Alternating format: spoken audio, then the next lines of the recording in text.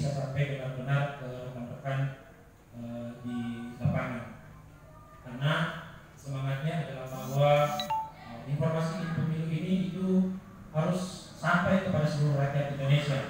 Nah kami analisa pribadi saya bahwa rekan-rekan karena kesibukannya kerja mungkin nonton TV saja terbatas kemudian mungkin apa sangat ini kan banyak mereka alat peraga kampanye mungkin karena kesibuk kesibukan pulang kerja sampai di kos di rumah istirahat sehingga informasi tentang siapa apa eh, tahapan pemilu ini sangat terbatas. Sehingga kemarin saya sangat berharap dan alhamdulillah teman-teman bisa hadir